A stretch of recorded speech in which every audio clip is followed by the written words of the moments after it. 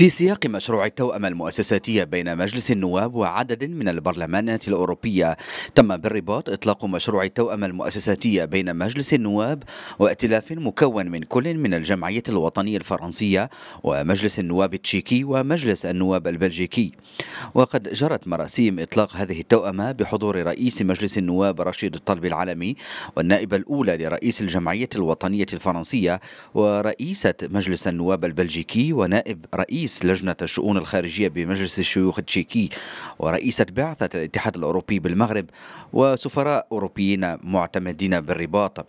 ويهدف هذا المشروع الذي يحظى بدعم المؤسسات التشريعية لأربع دول أعضاء في الاتحاد الأوروبي إلى الإسهام في تجويد منجزات مجلس النواب في أداء مهامه الدستورية وفقا لمبدأ التشاور حول الأهداف المتفق عليها بين المغرب والاتحاد الأوروبي. أهم ما في هذه التوأمة بطبيعة الحال الاستمرار في الاشتغال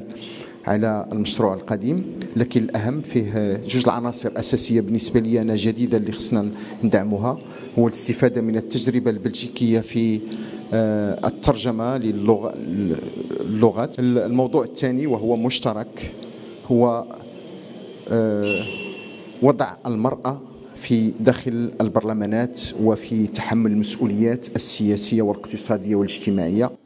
إن إطلاق هذا المشروع يعد حدثا مهما بالنسبة للمؤسستين التشريعيتين بالبلدين ونحن نشيد بالتطور الذي عرفته التجربة البرلمانية المغربية لا سيما بعد دستور 2011 الذي نص على تعزيز صلاحيات البرلمان في مجالات التشريع والرقابة وتقييم السياسات العمومية. الجمعية الوطنية الفرنسية ستستفيد بدورها من هذه الشراكة من خلال المشاركة في الملتقيات ذات الطابع الدولي التي تحتضنها الرباط. وأضافت فاليري رابو أن الجمعية الوطنية الفرنسية وبرلمانات الدول الشريكة الأخرى ستضع تجاربها وخبراتها رهن إشارة مجلس النواب. من جانب آخر أبرزت رئيسة مجلس النواب البلجيكي أن التعاون وتبادل الخبرات التجارب بين البلدان يعتبر السبيل الأفضل لتحقيق التقدم الاقتصادي والاجتماعي مؤكدة على الدور الأساسي والمحوري الذي تطلع به البرلمانات في صون الحقوق الديمقراطية.